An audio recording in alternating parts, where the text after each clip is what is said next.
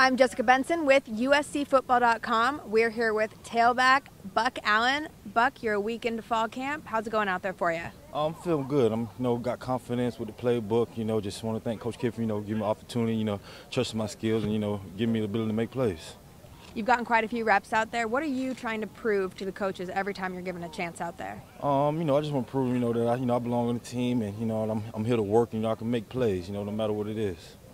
Kiffin this morning out there was kind of harping on a bunch of you guys for not finishing out all the way. How does it feel to be part of an offense that really focuses on finishing the play every single time, even in a practice? It's great, man. You know, USC got a great tradition. You know, uh, Coach Kiff just wants us to get better, so he, you know, he was just, you know, fo- you know, focusing on us just finishing after the play.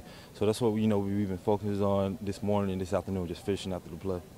What improvements are you happiest about since the spring to now? Um, my playbook and uh, you know identifying the front and you know and picking up my protections.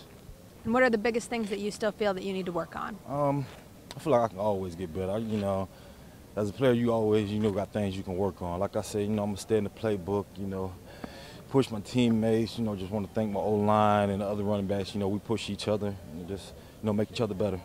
Great. Thanks, Buck. I'm Jessica Benson with USCFootball.com. You can hear more about fall camp on the web.